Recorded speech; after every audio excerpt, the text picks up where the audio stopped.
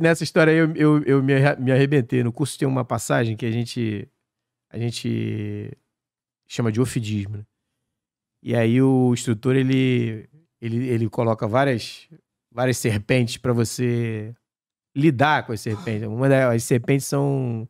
Algumas são venenosas e outras não. Aí, numa dessas de perguntar pra caralho, o instrutor vira pra mim e falou assim: o, o, meu número era 13, né?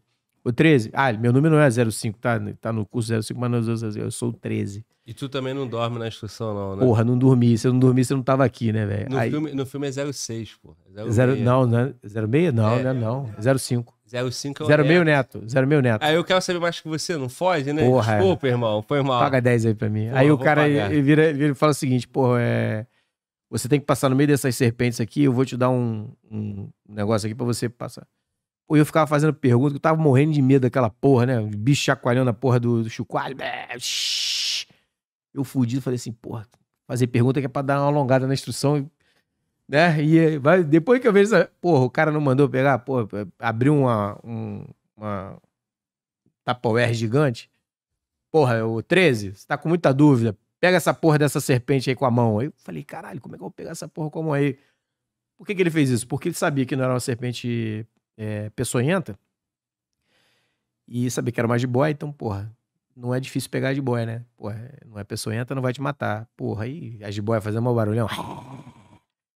Porra, na caixa gigante, eu falei, caralho, tô fudido. Aí falei, pega, pega, usa a cabeça, usa a cabeça. 13, usa a cabeça. Porra, eu peguei na, na, na serpente assim, mas ela. Eu peguei no pescoço dela. Se é que bicho tem pescoço, né? Peguei na cabeça exatamente. Porra, ela me mordeu, cara. Ela me mordeu, fincou o dente na minha. Ela não tem peçonha, mas ela tem dente, né? Arranhou aqui, saiu sangue, o caralho. Aí eu fiquei apertando a serpente, aí o instrutor veio, ah, só tira, tira ela daqui, tira daqui. Foi lá, botou mertiolate na serpente, o caralho, e foda-se o aluno, né? A serpente que não podia morrer, caralho, escroto. Aí eu, pô, mas é uma cobra de merda, é uma jiboia. Pô, mas a jiboia também arrebenta, me arrebentou aqui, a... deu uma, uma furada aqui. Aí eu, caralho, velho, que que merda, eu vou morrer nessa porra. Aluno é imagem do diabo, aluno é aluno, né? é sem luz. Aí o, o aluno, o aluno olha assim pro instrutor, ei, porra, que se foda, meu irmão. Se foda tua mão, caralho. Aí eu, depois é que eu entendi, não podia ter pego na. Tinha que ter pego na cabeça, né? Que na cabeça ela não tem como reagir. Mas aí, mas foi tudo certo. A cobra é, ficou, ficou viva, não morreu, não. E, e, o, e o aluno sempre fazendo pergunta. Aí é de São Fidélis aí. E a pergunta dele não foi, Porra, não, não foi lida, hein, Qual irmão? é a pergunta é, dele? É, é, Danilo, Danilo. É. Ele mandou aqui, ó. Como o senhor define lideranças, eh, liderança e quais as principais características de um líder eficaz no contexto do BOP? Quais práticas o senhor gostava de executar para fortalecer a cultura e altura e e alta performance. Pô, só pergunta bonita, é, né? Tá bonita. Só pergunta bem elaborada. Pergunta de empresário. Eu, eu, fico até envergonhado com as minhas perguntas. Sensacional. Ó, deixa eu te explicar. O, a liderança, é, a melhor liderança que tem é pelo exemplo. Você tem, no estudo da liderança, você tem uma série de, de, de estilos de liderança, né? Estilos de liderar. Mas a, a, melhor, a melhor liderança é pelo exemplo. Não tenho dúvida. E o que, o que você faz para o grupo é, seguir o líder?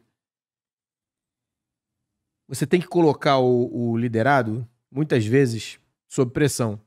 Porque é na pressão que você vê se ele, ele trabalha pelo grupo ou se ele trabalha para ele mesmo. Entendeu? Quando o líder, o, o liderado trabalha para o grupo, é fácil você construir um time de alta performance. Por quê? Porque é aquela história da caceta. Se cada um sabe o seu lugar, cada um sabe, dentro das suas atribuições, o que fazer, pô, o trabalho do líder fica muito mais fácil. Se ele der o exemplo, é muito mais fácil você seguir o líder. Então, é... qual é o exemplo que eu daria? Eu daria o exemplo da patrulha mesmo. O exemplo da patrulha é exatamente esse. Se o líder sabe para onde vai, se ele tem, se ele tem tudo planejado e se ele transmite esse o que ele sabe para os liderados, eles se sentem empoderados e sabem o que fazer. Mesmo que o líder padeça de qualquer forma ou não possa falar, como é o caso em, em área de alto risco, você sabe o que aquele líder faria, você sabe por quê. Você já foi colocado em situações no nível tão estressante que só de olhar pro um para outro você reconhece o que ele quer, o que ele sabe fazer e o que ele potencialmente pode fazer. Putz, é, é, é, é pura liderança.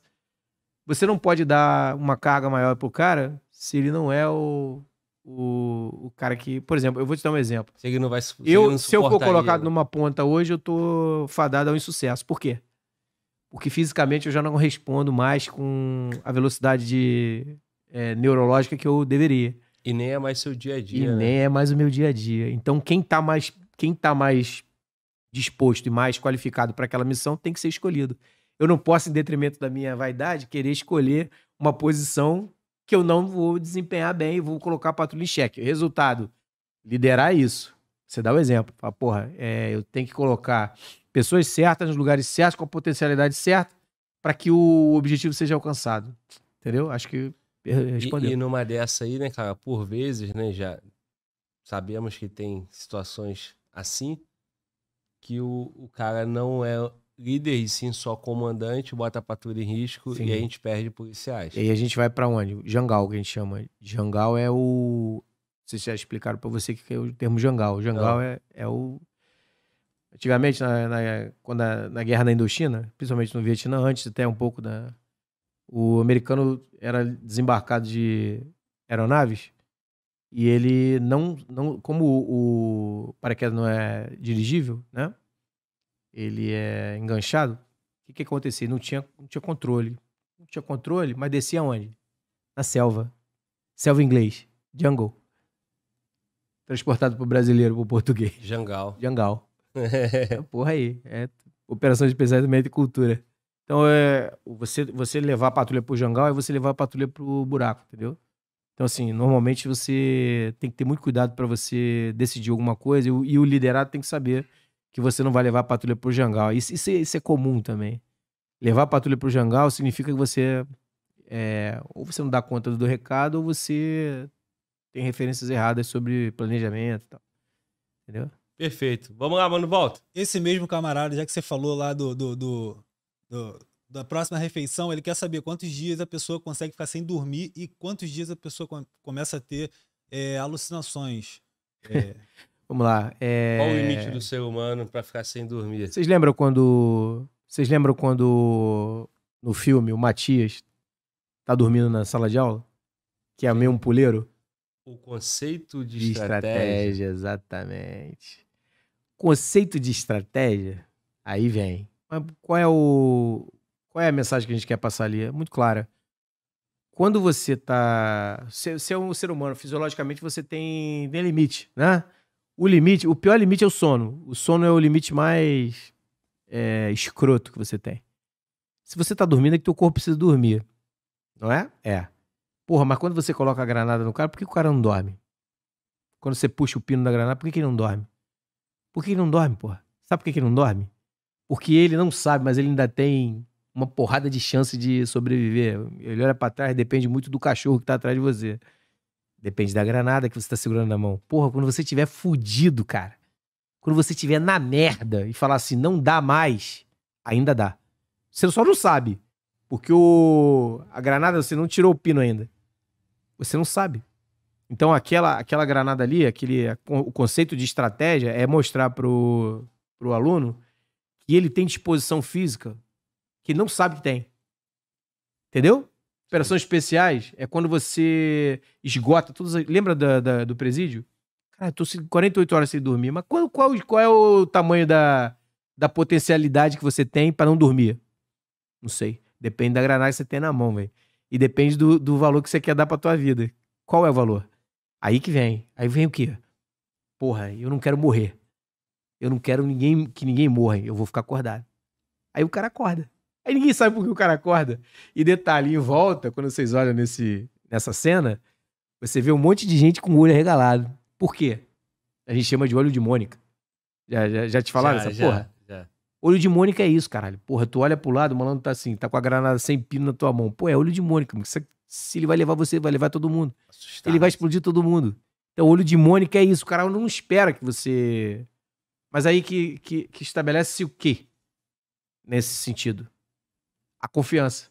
Porra, se eu sei o treinamento que esse cara tem aqui, se eu sou capaz de entender que é um Honório que tá do meu lado, que é um, é um Ramelete, é um Milton, é um Pato, caralho, eu sei que esse cara não vai dar merda. Eu sei que esse cara não vai te estubiar, ele não vai, grana- ele não vai jogar a granada no chão, entendeu? Se eu confio no treinamento dele e eu confio no meu treinamento, ambos confiamos um no outro. Pô, qual o destino dessa patrulha, velho? Sobreviver. Então, a pergunta dele é a seguinte, pô, é, qual é o qual é o nível de, de recurso que você ainda tem quando você tá sonolento, quando você tá é o mesmo que você tem quando você tem um objetivo muito maior a alcançar. É o, é o, é o teu, teu parâmetro, é o teu parâmetro que você usa, né? Você, pô, eu tenho muito mais, eu, peraí, eu tenho muito mais força do que isso aqui. E nesse ponto, o, o Alan Freitas lembrou muito bem que o Capitão Nascimento fala: estamos todos confiando no Senhor. Exatamente. Agora eu lembrei do. Então, do, esse ele, corpo. Lembrei né? do nome do, do, do, do, do, do Feições de Bruxa. Alan. Falaram no chat, Alan, falaram. Viu? Alan. Bom, Se ligou? demais. Lembrei, tá, a memória tá mais ou menos. aí. É, Feições de Bruxa, cara de bruxa. E, e aí, irmão, é, outro ponto também é que o cara, quando ele se vê a morte, quando ele vê perto da morte, aí ele tira força da onde ele não tem, né? Exatamente. Então, com tudo isso que, que você falou já, tem um fato do cara falar, meu irmão, eu não posso piscar o olho. Sim, Porque piscar o olho que mal tem? Piscar o olho não dá nada, mas se Morreu. eu piscar o olho agora eu morro. exato. E aí o cara, eu não só vou morrer, você não só vai se explodir, como você vai me explodir, porra. Exatamente isso, cara. Exatamente isso.